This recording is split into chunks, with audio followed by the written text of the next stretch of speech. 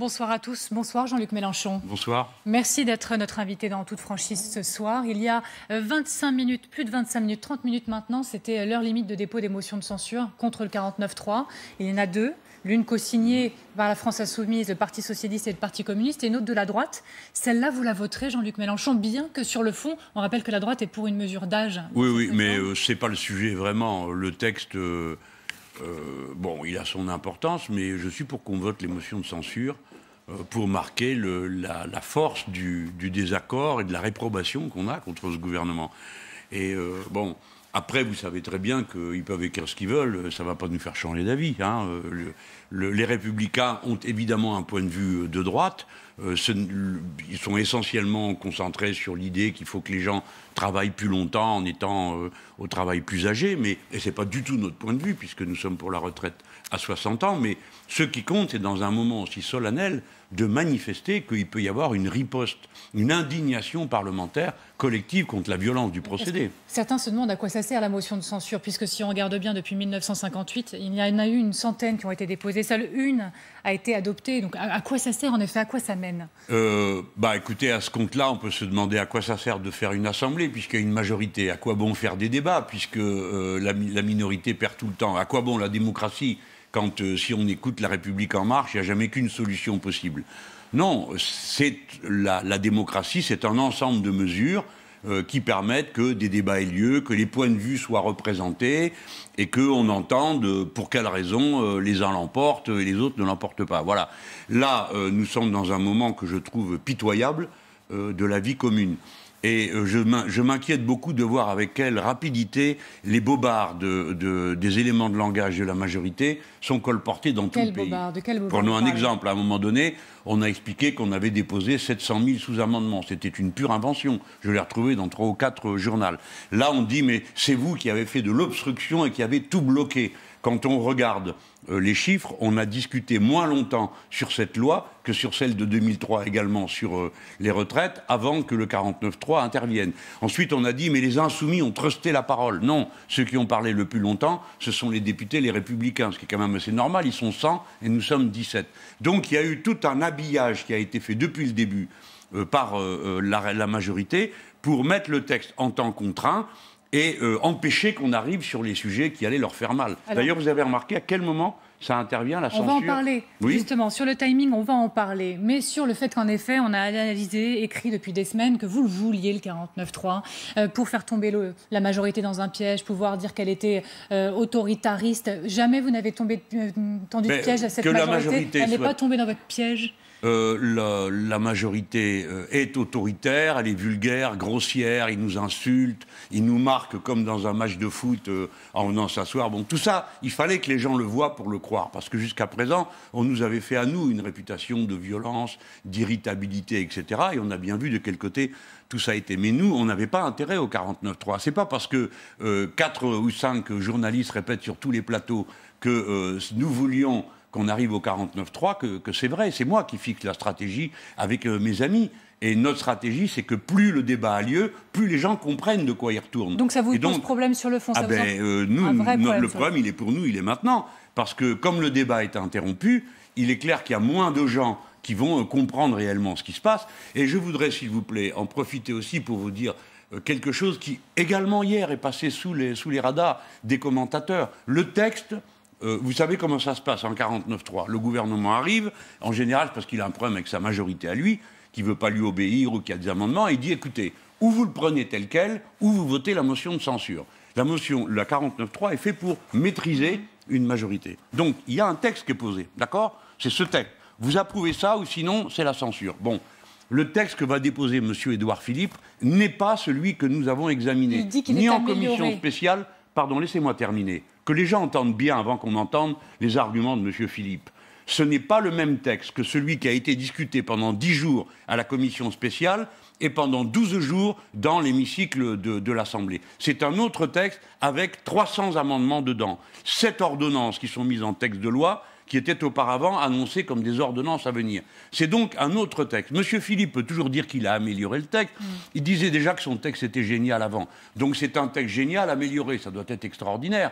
Mais en démocratie, ce n'est pas le chef du gouvernement et de l'exécutif qui décide euh, du contenu de la loi à la virgule près, à l'ordonnance près. Dans quelle démocratie au monde? Donnez-moi un exemple. Dans quel autre pays, à part peut-être en Chine, hein, ou peut-être en Corée du Nord, dans quel pays est-ce qu'une loi est considérée comme adoptée à partir du moment où le chef du gouvernement l'a décidé Eh bien, ça n'existe pas. Alors quand même, je reprends effectivement les arguments du Premier ministre. On l'a vu il y a quelques instants, il a même envoyé une lettre à Laurent Berger directement. Il dit que le texte s'est donc amélioré et on voit les nouveaux droits apparaître selon donc euh, notamment le Parisien, on ce qu'on peut lire. Nouveaux droits pour les personnes exposées à la pénibilité, situation des femmes améliorée, garantie aux professions libérales. Vous parlez souvent des avocats, vous Jean-Luc Mélenchon, concernant leurs réserves, le maintien de leur caisse, clarification des règles euh, d'amélioration. D'accord, d'accord on a compris, c'est merveilleux. Et c'est présenté comme aussi une manière de dire on prend en compte des amendements de la majorité et de l'opposition. Madame, euh, Madame ça me désole de vous entendre parler comme ça. Ah bah, Parce que le Premier ministre Vous dit... les arguments oui, du mais Premier Alors là, vous m'en passez, si vous voulez, on va examiner. Il y a 15 articles qui sont concernés, on va donc avoir le débat sur ce plateau sur 15 articles. Monsieur Édouard Philippe est un menteur. Il a déjà dit que euh, sa réforme serait excellente pour les femmes. Nous avons fait dix fois la démonstration que c'était le contraire. Il a dit que sa, réforme était géniale pour les fonctionnaires. On a montré qu'il les appauvrisserait. Et ainsi de suite, qu'il les appauvrirait. Et donc ce sont des affirmations et il compte sur le fait qu'elles vont être répétées partout pour que ça passe pour de la vérité. Ce n'est pas le cas. Et les, modifications qu'il apporte, si vous me me laisser un petit délai. Je veux dire, il est arrivé avec un nouveau texte samedi.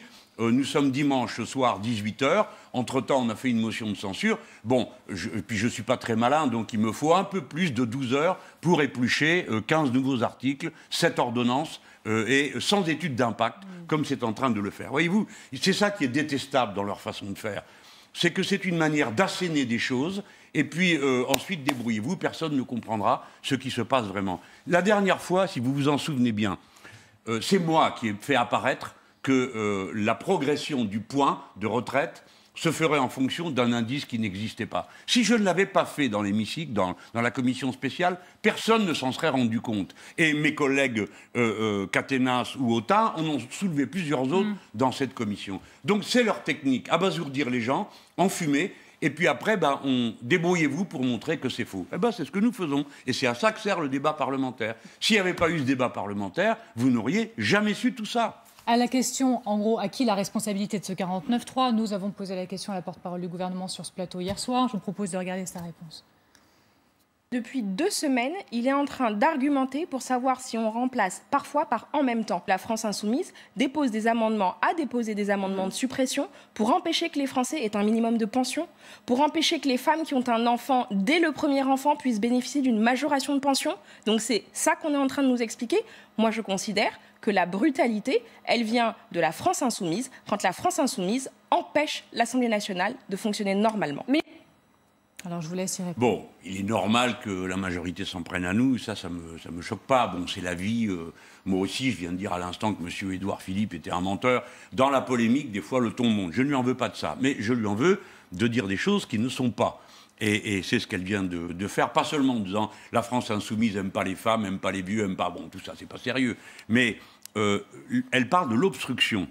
Ce n'est pas vrai il y a eu un débat sur le fond sur toute une série euh, de sujets. Et si nous avons perdu du temps à l'Assemblée, c'est de la faute du président euh, de l'Assemblée nationale, M. Ferrand, qui le premier jour a créé un incident qui a duré deux jours. Et c'est ces deux jours qui nous ont mis considérablement en retard. Nous, on n'a pas peur d'évoquer point par point. Et heureusement que j'ai fait ce qu'il euh, a fallu faire avec mes camarades, les 17. C'est que si on n'avait pas mis tous nos amendements au début, eh bien, il y a toutes sortes de sujets qui n'auraient jamais été abordés. Ceux qui sont à l'article 65, par exemple, tout ce qui concerne la capitalisation, etc., etc. Donc, nous avons agi de manière responsable, de manière démocratique, parlementaire, et la majorité a, a fait une espèce de tir de barrage. Pourquoi? Parce qu'ils ont peur de ce qu'ils sont en train de faire. Euh, parce que leur propre majorité peut à certains moments vaciller, ne plus être d'accord, parce qu'ils se collent des professions entières à dos. L'armée, cette fois-ci, contre eux, les fonctionnaires. Pour certains, l'analyse, euh, c'est de dire qu'il fallait euh, arrêter tout cela avant de passer aux discussions sur la valeur du point. C'est ce que vous pensez aussi Comment ça? Non, non, moi j'étais pour qu'on discute la loi le temps qu'il fallait. Non, que la majorité voulait stopper le texte avant d'en arriver sur des discussions ah, sur la valeur du point. Je pense que euh, la majorité savait qu'elle arrivait dans un moment qui allait être désastreux pour elle. Euh, c'est celle où se discutait la valeur du point, sa valeur d'achat, sa valeur de vente et la trajectoire en cours de route. Où là, nous, avions, nous avons présenté des arguments qui montrent qu'en réalité, tout le monde va y perdre hmm. et que la plupart des indices sont fondés sur des bases qui sont absolument inconnues. On ne sait pas comment ça va fonctionner. Alors, ce ne sera pas ça la suite. Donc, il y a eu le 49-3. La suite, ce sera quoi? Vous comptez sur la droite au Sénat pour stopper le texte? Alors, euh, on compte surtout sur nous-mêmes, mais euh, disons les choses comme elles sont. Euh, il y a deux lois, les gens ne le savent pas. Il y a deux lois pour cette réforme des hmm. retraites. Une loi ordinaire et une loi organique. Le 49.3 ne peut être utilisé que sur la loi ordinaire. Donc la loi organique va rester à l'Assemblée et comptez sur nous euh, pour qu'elle soit euh, bien étudiée à fond. Elle revient mercredi. Euh, le texte va arriver au Sénat. Le mm. Sénat, je ne compte sur rien. Je sais seulement comment le Sénat est constitué. Et au Sénat, c'est l'opposition de droite qui est majoritaire. Donc il me semble peu probable que ça passe comme une lettre à la poste. Et puis, il y a un groupe communiste qui est extrêmement actif au Sénat, et je pense qu'ils vont savoir aussi quoi faire. Et recours devant le Conseil constitutionnel, Pardon, attendez, après la loi revient à l'Assemblée nationale, et à l'Assemblée nationale, il y a nous. Par conséquent, là aussi, euh, la bataille aura lieu. D'ailleurs, vous préparez le même travail d'obstruction en ce moment que lors de la première partie Nous, on n'appelle pas ça de l'obstruction. Nous, on a décidé une fois, non mais attendez, je vous donne acte de ça. On a compris qu'on allait nous casser les pieds à chaque interview sur le thème euh, Vous faites de l'obstruction Est-ce que c'est. Alors on a dit Oui, oui, ce que vous voulez. Pourquoi? Pour qu'on parle d'autre chose. Et on a très bien réussi notre coup, parce qu'en effet, bon, bah, c'est passé dans le fond de l'air. Mais quand la loi va revenir, euh, il faut que vous sachiez qu'elle aura été transformée par le Sénat et le gouvernement lui-même a dit qu'il introduirait dans la nouvelle version, il y aura donc encore une version, il introduira le résultat de la conférence de financement. Donc le texte que nous allons revoir dans un mois et demi, deux mois, n'aura plus rien à voir avec celui qu'on avait au départ. Donc, en effet, euh, nous imposerons, si nous le pouvons, un examen extrêmement minutieux, morceau par morceau. Vous avez déjà déposé des amendements sur le retour de cette loi mercredi organique? Euh, on va, je pense, ça va se régler là. D'abord, euh, la réunion de groupe, vous savez, on a pour que ça tienne bon à 17, il faut avoir des pratiques très collectives, et, c'est notre cas. Et recours auprès du Conseil constitutionnel, vous l'envisagez, vous ou pas? On fera tout, tout ce qu'il faut. Mais attendez, avant tout ça, quand même, qu'on dise ce qui va se passer. C'est que euh, le, il va y avoir le vote sur la motion de censure, et ce jour-là, dans tout le pays, les organisations syndicales ont appelé à des rassemblements et des manifestations. Il ne faut pas croire que euh, le gouvernement est débarrassé du peuple. Justement, hein. vous parlez d'un mouvement populaire, vous en avez parlé désir, vous y appelez, vous espérez que tout cela va relancer la machine de la contestation dans la rue, qui était peut-être un peu éteinte ces dernières semaines. Est-ce que vous euh, êtes déjà en lien avec Philippe Martinez et les organisations syndicales, par exemple On espère que les organisations syndicales, bon, déjà, elles ont lancé un appel, j'ai vu, euh, le jour du vote euh, à, l'Assemblée nationale. Donc le jour du vote à l'Assemblée nationale, il y aura des, manifestations partout dans le mm. pays. Et puis après, l'intersyndicale prendra ses dispositions. Vous savez que nous, on s'interdit de critiquer euh, ou de donner un point de vue sur, les, sur les syndicats. Modération à laquelle ne s'astreint pas la CFDT, qui nous attaque régulièrement, je trouve d'une manière qui est, qui n'est pas très loyal. Ils disent vous avez fait de l'obstruction. Bon, ben ça, c'est l'argument du gouvernement. Mm. Je pense que des syndicalistes doivent comprendre que c'est dur, à moins de 100, hein, les trois groupes, euh, de faire face à 400 personnes dans une, dans une assemblée. Donc, il y aura ces mouvements, mouvements de masse, euh, je l'espère. Après, comprenez bien une chose ceux qui ont repris le travail, cheminots et traminots, ou électriciens, etc., ce ne sont pas des gens qui ont été vaincus ou qui ont changé d'avis. Ce sont des gens qui ont des comptes à régler. Parce qu'ils ont perdu souvent un mois de salaire et qu'ils ont toujours en travers de la gorge comment ils ont été traités et le sort qui leur est réservé par le nouveau régime des retraites. Par conséquent, le pays est disponible pour l'action. J'ai parlé des syndicats, mais il y a aussi autre chose qui existe, qui est un Conseil national euh, de soutien à la lutte contre la réforme des retraites, euh, qui lui aussi a ses réunions et lancera ses mots d'ordre que, euh, bien sûr, nous, on aura à cœur de suivre, puisqu'on est membre de ce Conseil national, nous autres, les, Insoumis. Parmi les réactions, il y en a eu une suite au mouvement spontané hier soir hein, de Ségolène Royal, par exemple, qui demande au gouvernement de retirer le 49.3. Au vu des mobilisations spontanées, cela risque de mal finir, dit Ségolène Royal. Est-ce que ça ah risque ben, de mal finir, Jean-Luc Écoutez, je ne sais pas ce que veut dire mal finir. Euh, euh, les gens sont extrêmement révoltés par le procédé qui a été utilisé. Et puis, si vous voulez, quand les heures passent, euh, l'ancienne manière qui consistait à mm. bourrer le crâne des gens en leur faisant croire euh, des éléments de langage du gouvernement. Maintenant, les gens se renseignent.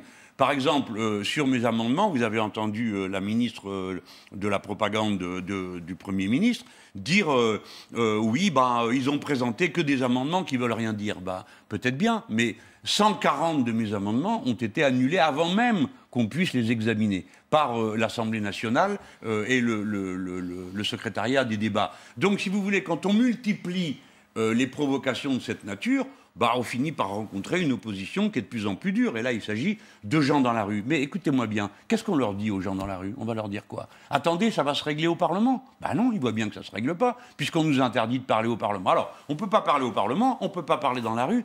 Qu'est-ce que vous croyez que c'est le peuple français? Un ramassis de moutons? Non. Vous parlez même dans le journal du dimanche aujourd'hui de pulsions euh, totalitaires. Jean-Luc Mélenchon, c'est le président qui a des pulsions totalitaires, selon vous? Eh bien, euh, oui, à certains moments, il y a.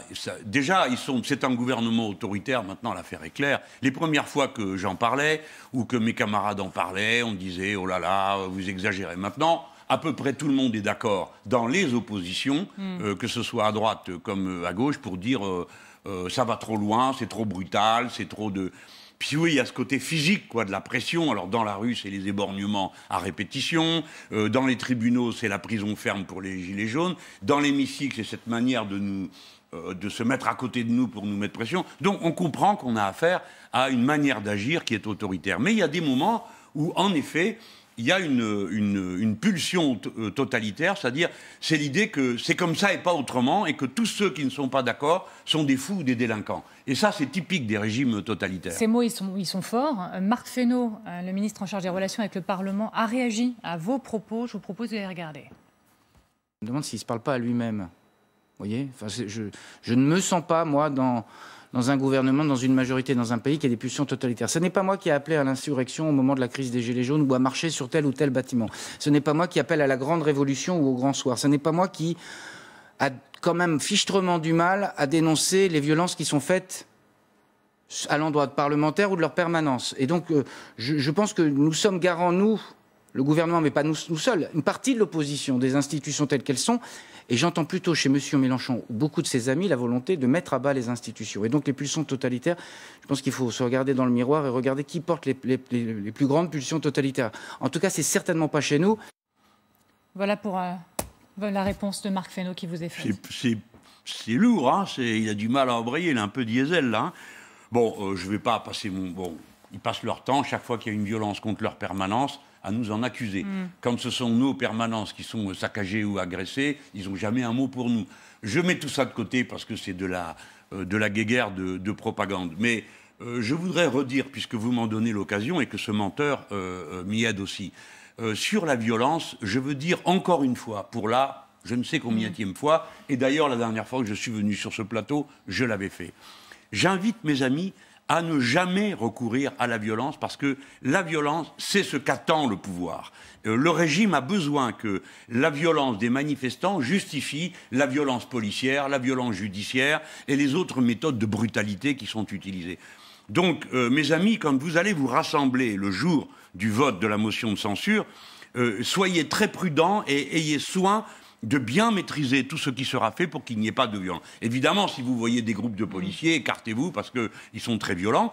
Euh, et évitez que ce soit euh, la surenchère, euh, la montée en puissance. Voilà. La violence ne nous sert pas, elle ne sert que le régime. D'ailleurs, vous le voyez, il passe son temps à inventer une violence qui n'existe pas. La permanence d'Edouard Philippe a été caillassée hier soir. Vous condamnez Écoutez, madame, euh, j'en ai assez d'être interrogé sur tous les plateaux. Est-ce que je condamne ceci? Est-ce que je condamne cela? La permanence de mon camarade Éric Coquerel a été entièrement repeinte. Est-ce que euh, on va en parler et on va condamner ça? Est-ce que un quelconque de la République en marche va condamner ça? La permanence de euh, ma camarade Caroline Fiat s'est vue déversée par la FNSEA euh, du fumier devant sa porte. A-t-on entendu quelqu'un critiquer ça euh, Le représentant des Insoumis dans la ville d'Étampes. Son domicile a été incendié deux fois. Euh, quand a-t-on entendu La République en marche et les plateaux de journalistes s'indigner? Alors, je redis ce qu'est ma position. Je ne suis pas d'accord avec l'utilisation de la violence. Mais je dis aussi que La République en marche est une organisation extrêmement malveillante euh, de mauvaise foi et qui ne respecte pratiquement aucune des traditions de respect qu'une majorité a pour euh, son opposition. Voilà. Alors, euh, bah, le pays va vivre avec ça, je le déplore.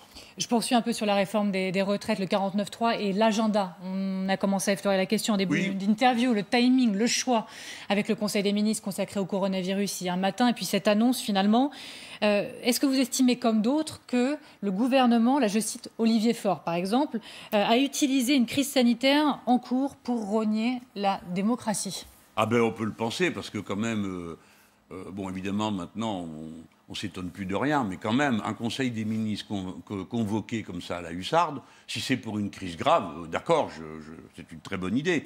Mais si au passage on a entrée coronavirus, plat et dessert, le 49.3, je trouve ça euh, grossier, vulgaire et, et, pas conforme à l'état d'esprit qu'il faut créer. Si le coronavirus est un danger aussi important que le gouvernement le dit et les autorités sanitaires mondiales.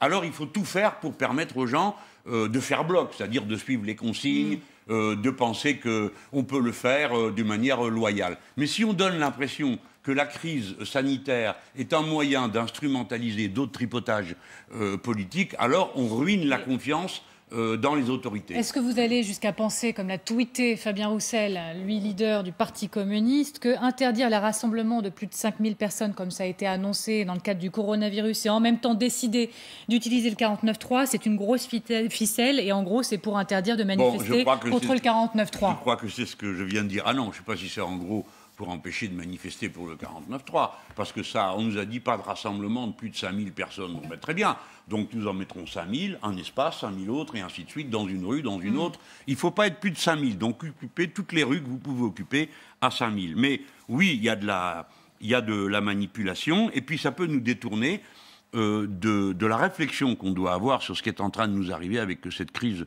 euh, du coronavirus. Parce que, pardon de vous dire que le plus grave, c'est quand même tout ce que ça met à nu je ne parle pas de la crise sanitaire. Je redis à tout le monde, suivez les consignes sanitaires et ne faites pas les je sais tout euh, qui sait mieux que les autres. Nous suivons les consignes sanitaires et réfléchissons à tout ce que ça met à l'ordre du jour. Par exemple, comment se fait-il que nous soyons en pénurie de médicaments. Nous allons en parler en effet. Mais en effet, passons au coronavirus précisément. L'unité nationale, euh, elle tient toujours sur ce sujet. On l'a vu à la sortie de Matignon cette semaine. Euh, ça tient toujours, l'unité nationale, autour du coronavirus. Moi, je crois qu'il faut suivre les consignes des autorités sanitaires. Quand tout le pays, euh, si le gouvernement a invité tous les chefs de parti et les présidents de groupe à venir, c'est qu'il estime que la situation est grave. Il est le mieux placé pour connaître l'état de la situation. Au demeurant, l'Organisation mondiale de la santé a alerté sur euh, le risque de la pandémie. Donc il faut prendre ça au sérieux. Et il faut le faire, alors bon, sans en rajouter, mais sans non plus sous-estimer. Donc euh, moi, ma ligne, c'est que quand le pays est, confronté à un défi commun ou à un péril commun, on fait bloc. Hein. Euh, je ne dirais pas on se serre les coudes, puisqu'il paraît qu'il ne faut pas se toucher de trop près. vous ne serrez plus la main, vous, on pose la question à tout le monde. Hein. Oui, mais on fait bloc. Il faut faire bloc euh, et suivre les consignes des autorités sanitaires. Et puis, il faut réfléchir, parce que euh, d'une crise à l'autre, quand même, euh, je trouve qu'on n'apprend pas beaucoup sur cette question, si vous permettez qu'on l'aborde, des, médicaments. Ah ben, la dépendance à la Chine, vous voulez dire 80% La dernière fois qu'on a eu une, épidémie qui arrivait d'Asie, je m'empresse de dire que je dis venant d'Asie, c'est parce que là, c'est là qu'il y a le plus grand nombre d'êtres humains. Donc il est hmm. normal que ce soit à cet endroit-là que les épidémies démarrent. On avait déjà fait le constat que 80 à 90 euh, des, des, molécules dont on avait besoin sont produites là-bas. Je rappelle qu'il y a 30 ans, elles étaient produites en Europe. Je ne suis pas hostile, bien au contraire, parce qu'en Asie, on dispose des équipements pour fabriquer les médicaments, mais je suis très hostile au fait qu'on ne puisse plus le faire en Europe. On nous dit qu'il y a 4 mois d'approvisionnement en médicaments, mais la dernière fois, on a bien vu tout ce qui manquait. J'espère que les gens comprennent bien. Je ne suis pas en train de parler des médicaments pour faire face au coronavirus mais à tous les médicaments d'une manière générale. vous proposez quoi, vous, Jean-Luc Mélenchon Moi, je Vous avez mis sur la table une annonce en sortant de matin, une agence française. Oui, nous avions, euh, dans le programme L'avenir en commun, qui reste notre référence, nous étions pour une agence publique du médicament. Et il y a plein de raisons à ça. La première est d'abord d'être capable d'être indépendant. J'y insiste, moi je suis un indépendantiste français dans le cadre euh, euh, dans lequel ça peut se faire. Il faut que nous soyons capables de produire nous-mêmes nos médicaments. Quand nous n'en sommes plus capables, nous sommes en voie de tiers-mondisation. Parce que là, ce qu'on appelait hier le tiers-monde, c'était une zone du monde où on ne peut produire pratiquement aucune des choses euh, dont on a besoin parce que l'industrie n'était pas là, parce que la chimie n'y était pas, etc. Donc l'Europe s'est mise toute seule dans une situation euh, où elle n'est pas plus avancée que euh, l'était le tiers-monde, puisqu'elle ne peut plus produire ses propres médicaments et des molécules extrêmement élémentaires, pas des choses super sophistiquées. Nous avons en France la capacité d'être autonome en matière de vaccins grâce aux infirmeries des hôpitaux, mais oui, il nous faut un pôle public du médicament. J'ajoute la chose suivante. C'est quand même quelque chose d'incroyable. La sécurité sociale rembourse les médicaments que vous utilisez. Hein. Euh, bon, ça serait peut-être pas une trop mauvaise chose que l'État ait à voir avec le prix des médicaments et la manière, dans euh, la manière avec laquelle ils sont produits. Donc j'estime que dans un système de dépenses socialisé, la sécurité sociale, ce serait bien que le médicament soit contrôlé. Et donc cette agence, elle est financée bah, par le médicament lui-même. Euh, c'est la circulation normale euh, euh, de, des médicaments entre ceux qui les consomment et ceux qui les prescrivent. Il n'y a aucun problème de financement à cet égard. Est-ce que, pour vous, c'est la preuve que la mondialisation a dérapé et qu'il y a eu des erreurs stratégiques et politiques ah. que tout ça a dérapé? Dérapé, je ne sais pas. Bon, il faut aussi... là, en ce moment, il se dit un maximum de bêtises. Les, les, grandes épidémies qui ont frappé au XIVe siècle ou dans ma ville, Marseille, en 1720 euh, sont toujours des épidémies qui sont venues mm. du commerce mondial. Hein. Euh, l'épidémie qui a tué la moitié de la population en 1720 à Marseille, elle venait elle aussi de Chine. Et puis il y a toujours les gros trafiquants qui, là au milieu, viennent s'arranger pour cacher euh, les épidémies quand elles arrivent. Alors, bien sûr que la mondialisation est en cause, mais pas de la façon que l'on dit, c'est pas parce que des choses voyagent que les virus voyagent, ils n'ont pas besoin de ça pour voyager. Mais par exemple, si la propagation euh, des virus passent des animaux aux hommes de manière beaucoup plus intense, aux êtres humains, c'est parce que les êtres humains détruisent les habitats naturels des animaux. Or, vous ne le savez peut-être pas, mais j'en informe parce que moi je l'ai appris. Euh, 2500 virus peuvent tuer un être humain. 1400 viennent des animaux. Ça ne tient pas à la malveillance des animaux. Euh, les chauves-souris chinoises n'ont jamais demandé à aller habiter en ville. C'est parce qu'on leur a détruit leur habitat. De la même manière, euh, l'intérêt pour nous tous serait de comprendre que tout ce qu'on peut produire localement, c'est aussi bien de le faire. À quoi bon trimballer euh, des fraises, des tomates, des artichauts depuis un bout du monde à l'autre, alors qu'on est capable de le produire sur place? Donc, il faut, il faut qu'on mondialise que ce qui doit l'être. Autrement dit, que l'on pratique un protectionnisme, bien sûr solidaire, on ne pourra jamais tout produire nous-mêmes, donc il faut s'entendre avec les autres, mais qu'on ait pour règle on produit localement le plus de ce qu'on peut produire. Alors justement, Bruno Le Maire, il en a parlé de la relocalisation ces derniers jours. Il dit effectivement que cette séquence est un game changer, c'est-à-dire que ça va changer les règles du jeu, Pourquoi question il mondialisation. Et il a des synonymes aussi en français. J'ai cité l'expression anglaise, mais en tout cas, euh, il parle de relocalisation et il dit que c'est une réflexion à mener. Vous dites OK, euh, très bien, Monsieur le ministre de l'économie, ça va dans le bon sens? Eh bien déjà, ça change, hein, parce que ce n'est pas ce qu'il disait il y a quelque temps, bien sûr, mais ce n'est pas des réflexions dont on a besoin maintenant, c'est d'action. Hmm. Hein. Il faut se décider et faire ce qu'il y a à faire. Et le faire, comment dire, avec, euh, euh, si vous voulez, une conscience écologique euh, qui soit une conscience du salut commun avec les moyens qui va avec, pas euh, l'écologie de consensus, gnangnan, où tout le monde est d'accord pour dire qu'on préfère l'air pur et, l'eau potable. Il s'agit maintenant de se donner les moyens de faire face à ce qui s'avance vers nous. Et donc, il faut relocaliser. Relocaliser, ça veut dire planifier, pardon de vous dire, que vous ne relocaliserez rien du tout si vous n'êtes pas capable de mettre en face une main-d'œuvre qualifiée qui sait le faire, si vous n'avez pas pour une agriculture paysanne une maîtrise de la terre qui vous permet d'affecter aux cultures vivrières ce qui aujourd'hui est affecté à des cultures d'exportation, etc., etc. Donc il n'y a pas de relocalisation sans planification. autre conséquence, c'est l'impact sur les places boursières, l'impact économique. Daniel Cohen, l'économiste bien connu dans le journal du dimanche, estime que oui, ça peut provoquer une baisse de la croissance mondiale. Certains pensent même à une crise euh, économique à venir. vous le redoutez euh, La croissance, euh, c'est pas vraiment le parce qu'on ne sait plus ce que veut dire croissance. Si c'est pour produire des cochonneries qui saccagent tout, il vaut mieux qu'il y en ait moins. Mais ce qui est important, c'est de voir que la bulle financière qui surplombe le monde, les gens ne le savent pas, mais il y a 150 ou plusieurs milliers de fois plus d'argent qui circule que de biens réels à quoi il correspond. Donc, à tout moment, la bulle peut éclater. Et en effet, s'il y a un ralentissement de l'activité dans un point du monde, et c'est le cas en Chine, dont on a fait l'atelier du monde. Eh bien, oui, en effet, en cascade, il peut se produire une crise financière majeure. Ça, c'est la probabilité la plus forte aujourd'hui. Hein. On a parlé des, conséquences économiques, mais les conséquences sur la santé, quand vous voyez qu'il y a eu 100 cas, il y a un nouveau point euh, qui est annoncé vers 19h15 à la Direction générale de la santé, peut-être de nouveaux cas à venir. Votre niveau d'inquiétude par rapport au virus, on est passé au stade 2, euh, l'enjeu c'est d'essayer de ne pas passer au stade 3. Quel est votre niveau d'inquiétude? Je ne suis pas capable de mesurer mon niveau d'inquiétude. Moi, je crois à l'organisation, à la discipline, euh, aux mesures euh, qui sont prises par les autorités sanitaires. Mais c'est peut-être aussi le moment, au milieu de, cette alerte générale, de cette peur qui devrait tous euh, nous submerger. Pourquoi? Parce que le gouvernement, après avoir fait le 49-3, a l'intention de reporter les élections municipales. Alors, vous le croyez bah, ça? Parce que l'exécutif dit non. Ils sont capables de tout. Pas à ce stade, dit Olivier Véran, le ministre de la Santé. Il y a trois jours, le Premier ministre nous a dit dans la réunion à laquelle il nous a invités, mais non, je n'imagine même pas qu'une idée pareille puisse être discutée. Je ne sais pas d'où vient cette rumeur. Maintenant, c'est un ministre qui dit lui-même, à ce stade, tout le monde a compris. Ça veut dire que s'ils en ont la possibilité, exactement comme pour le 49-3, ils essaieront d'ajourner euh, les, les élections. Alors, je voudrais rappeler à ceux qui nous écoutent, sans vouloir minorer, si peu que ce soit, les risques, que 85% des gens qui seront contaminés hmm. par le coronavirus n'auront aucune conséquence sur leur santé.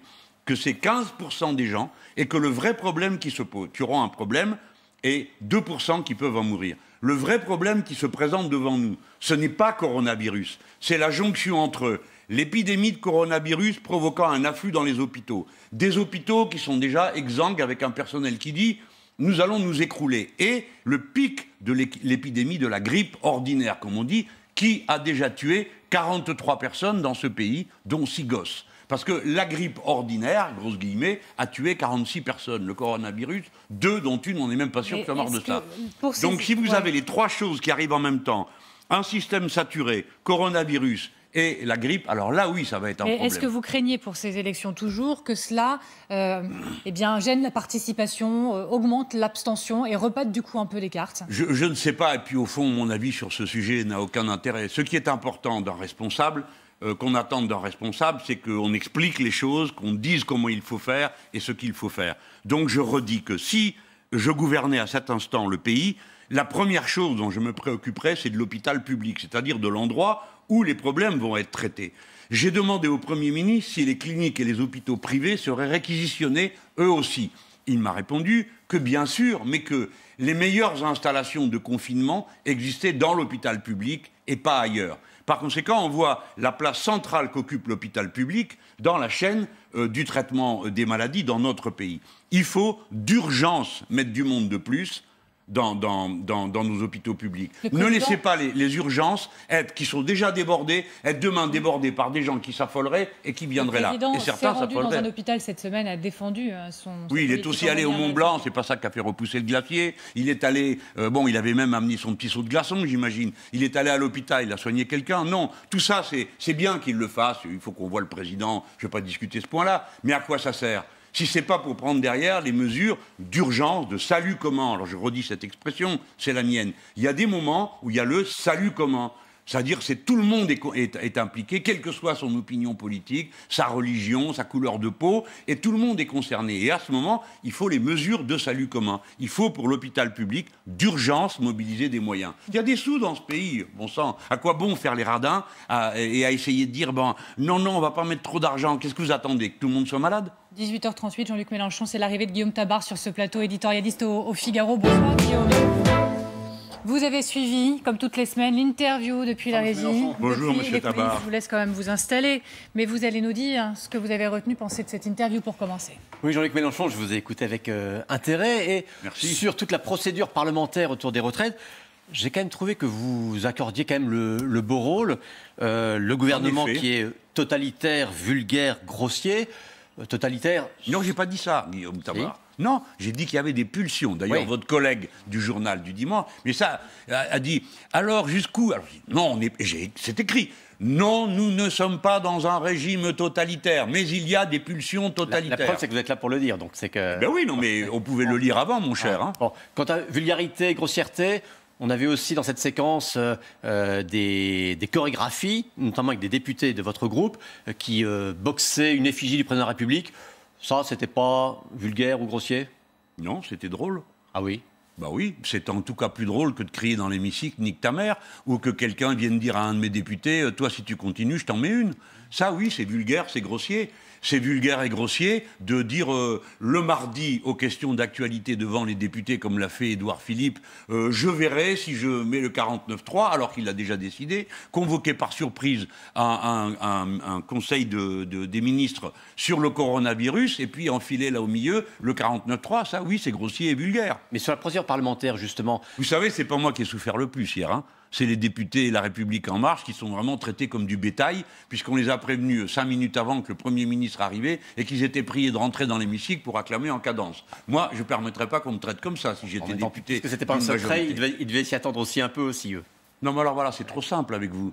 Alors on se demande si c'est pas moi qui suis responsable du 49-3 alors que c'est lui qui le décide. Et puis on s'y attendait. Alors comme on s'y attendait, ben ma foi. Alors on, pourrait s'attendre à ce qu'ils suspendent les élections municipales. Alors quand l'événement arriverait, bon, on dira bah, c'est normal, on s'y attendait. vous êtes extraordinaire pour endormir. Euh, euh, bon, ça m'étonne de vous, d'habitude, vous, vous piquez là. Non, mais vous, êtes là pour réveiller tout le monde, donc ça, c'est ah, très bien. J'espère. mais sur la procédure parlementaire, euh, tous les opposants au 49.3 disent que l'on bafoue les droits du Parlement. Est-ce que, parce que vous avez dit que les 700 000 sous-amendements, c'était du pipeau, mais les 40 000 amendements, ça, c'était de la réalité, et tous ne portaient pas non plus sur le fond du texte, il y en a beaucoup qui étaient finalement des amendements de forme. Est-ce que les modalités d'obstruction, reprenons le mot, euh, est-ce que ça ne ridiculise pas aussi un peu le Parlement? Ben, C'est-à-dire que s'il y a des gens qui n'écoutent pas les débats et qui font des commentaires à partir des commentaires de leurs collègues qui eux-mêmes commentent leurs impressions et les éléments de langage qu'ils reçoivent euh, par pli scellé du gouvernement, c'est clair qu'on ne comprend rien. Mais il n'est pas vrai qu'il n'y a pas eu de débat sur le fond. C'est le contraire. Je vous rappelle, Guillaume Tabar, que ce n'est pas le Figaro qui s'est aperçu que euh, la valeur, le, pardon, le, revenu d'activité moyen par tête n'existait pas. C'est moi, pauvre parlementaire. C'est ma collègue euh, Mathilde Panot qui a mis à jour le mécanisme pour les chômeurs. C'est ma camarade euh, Clémentine Autain qui a fait la démonstration de pourquoi pour les femmes cette réforme serait une catastrophe. Donc on a discuté du fond. Mais il y a, il y a quelque chose à comprendre. Eux, ils voudraient qu'on améliore leur texte. Mais nous ne sommes pas là pour ça. Nous nous opposons au texte. Nous trouvons que le système comme il fonctionne nous convient, nous voulons l'améliorer. On ne veut pas le révolutionner, le fiche par terre. Donc il faut admettre l'idée qu'une opposition s'oppose suivant le choix de ses propres moyens. Quand vous mettez un amendement, on n'est pas les seuls d'ailleurs à avoir fait ça, tout le monde a fait ça, vous mettez un amendement de forme, eh ben, c'est l'occasion pour vous de parler du fond. Moi, je suis intervenu quatre fois sur euh, les, mes dernières interventions, c'était sur le travail détaché. Alors il y en a eu un évidemment qui suit rien, qui lit rien, qui prend un papier qu'on lui a envoyé, qui dit nous perdons du temps avec le travail détaché qui n'a rien à voir avec les retraites. Ben si bonhomme, le travail détaché coûte 3 milliards 300 millions au régime de sécurité sociale. L'amendement ne portait pas là-dessus. Enfin, ça y est, on va faire le débat. Euh, mais c'est ce que je suis en train de vous expliquer, Guillaume Tabar. vous ne voulez pas comprendre si, vous prenez comme prétexte des amendements de forme. Ça y est, vous êtes... voilà, ça y est, c'est clair. Mais vous savez, vos, amis de droite ont fait pareil. Hein. on, va passer à une autre question sur les élections municipales. Voilà, puisqu'apparemment, quand même, ces municipales auront, bien lieu. Votre parti a fait l'impasse sur ces, euh, ah sur ces municipales, en grande partie, bah oui, euh, en présentant peu de listes, en tout cas estampillées euh, sur la France insoumise. Ah, pareil. Sauf notamment à Paris. Alors j'ai regardé, à Paris, à la présidentielle, vous aviez fait au premier tour 19,56%, ce qui était en gros votre moyenne nationale. Là, votre candidate, Daniel Simonet, dans le sondage qui est paru ce matin dans, le JDD, est crédité de, 5%. Est-ce que finalement, l'impasse globale que vous faites sur les municipales, c'est pas par peur que l'on voit ce que pèse aujourd'hui Voilà, vous avez tout compris. Comme nous avons peur, nous sommes anxieux. Je vous pose la question? Bah non, vous ne posez pas la question, vous affirmez. Ah D'abord, vous verrez que le résultat de Daniel Simonet ne sera pas ce que vous dites, il sera plus élevé. Après, la sociologie de Paris et pas une sociologie qui euh, favorise les insoumis. Et une élection présidentielle, une élection municipale, c'est pas à vous que je vais apprendre ça, c'est pas pareil, et les réflexes euh, des électeurs ne sont pas les mêmes. Donc la bataille a lieu. Alors après, je vais vous reprendre quand même dans le cadre plus large, parce que notre campagne à Paris, elle est tout simplement magnifique. Et nous avions un meeting encore euh, il y a, il y a deux jours, salle ultra comble, pour des gens qui, comme vous dites, ont fait l'impasse. C'est quand même curieux. Non, ça marche très bien. Et surtout qu'on a un bilan avec euh, Daniel Simonet. Elle a fait un boulot remarquable de compte rendu, d'action, etc. Alors, sur le, pays, non, vous ne nous avez pas compris. Vous n'avez pas compris ce qu'on fait. Nous avons décidé de nous des listes citoyennes. On soutient des listes citoyennes. Nous sommes présents, des insoumis sont présents dans 550 listes dans les villes de plus de 10 000 habitants, c'est-à-dire dans les deux tiers. Et nous sommes dans des configurations, comme c'est les gens qui décident sur le terrain, je ne vous dis pas que c'est toujours génial, mais c'est comme ça que ça se passe et que c'est organisé.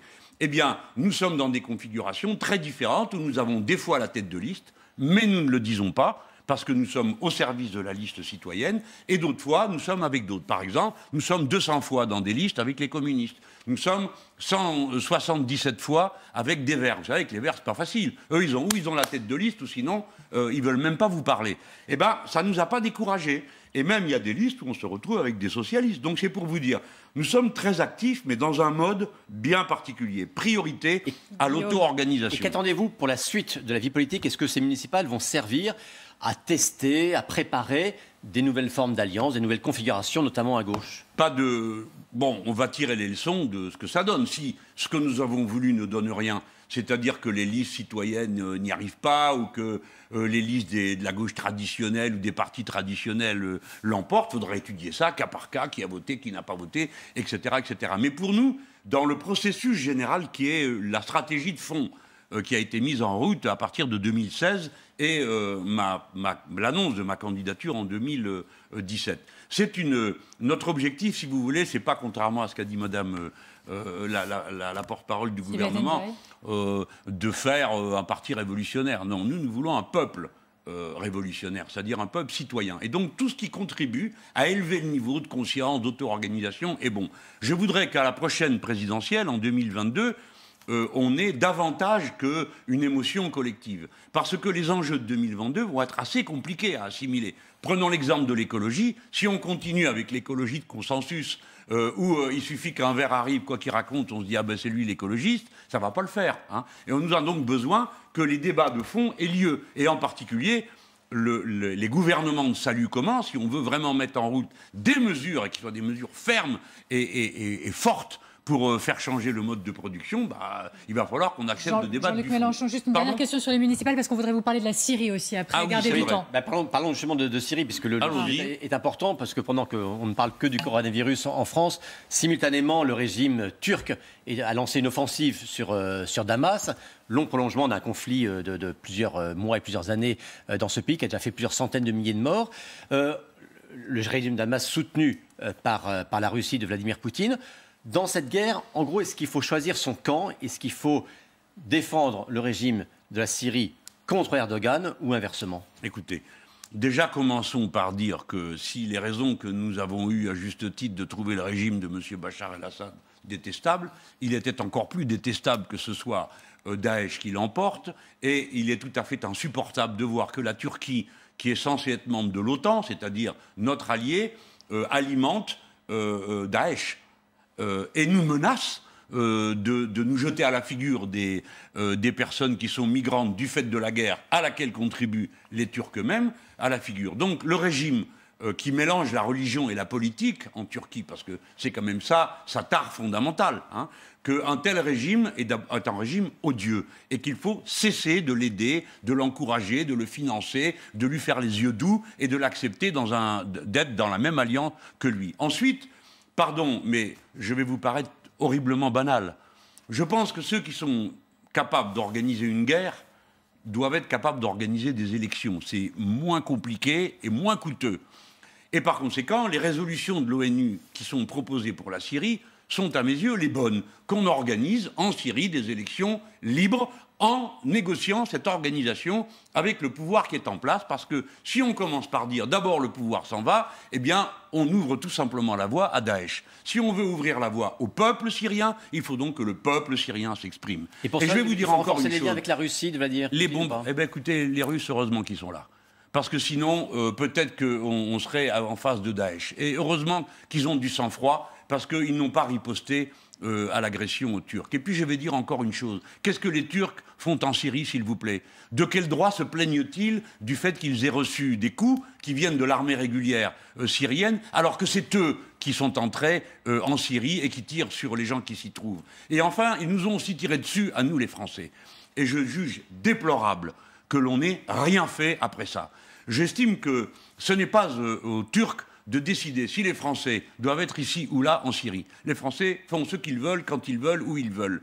Et en Syrie, personnellement, je ne serais pas euh, pour la, méthode qui a été suivie, Mais j'estime que ce n'est pas à eux de décider à notre place. Et que s'ils il doit leur en cuire s'ils s'en prennent à nous. Et il vaut mieux que tout le monde sache dans le monde que les Français sont une puissance pacifique, à condition qu'elle le soit, et qu'il en cuit quand on s'en prend à eux. Dernière question, Guillaume. Rapidement, les États-Unis, euh, le Super Tuesday mardi, Bernie Sanders va peut-être être consacré comme favori des démocrates euh, américains. Est-ce que Bernie Sanders, c'est le Mélenchon américain?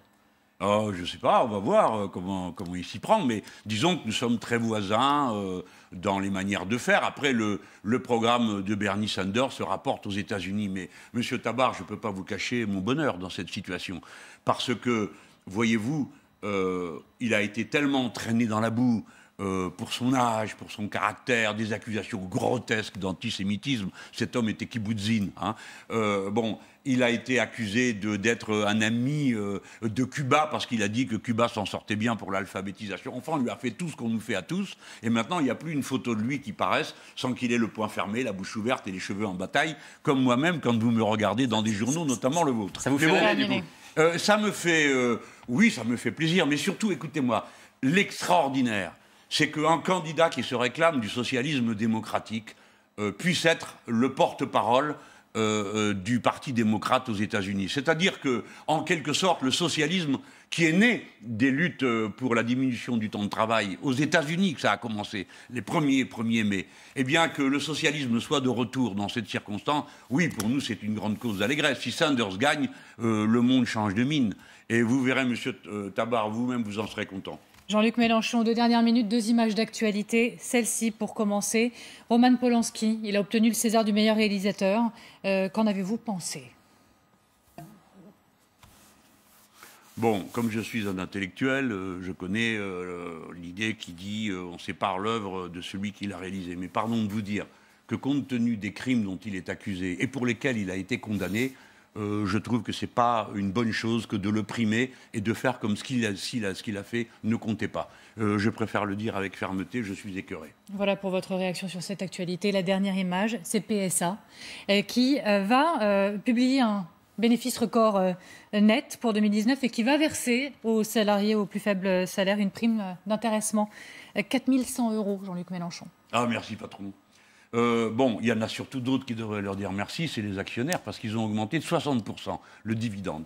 Là, pour cette année, pour les travailleurs, ça équivaut à une augmentation de 28% momentanée. Hein. Voilà. Donc, c'est des sous qui sont bons à prendre mais la générosité euh, du patron de PSA est, pas aussi grande que ce qu'il voudrait donner à voir. D'autant que, comme il va verser cette prime euh, sur le compte prévu par M. Macron, euh, vous savez, après la, mesure gilet jaune, hein, donc 60% sera donc retiré de ses impôts sur la société PSA. Ces gens sont très capables d'être généreux avec l'argent des autres. C'est leur spécialité. C'est pas le signe que ça bouge dans le partage des profits à aucun moment?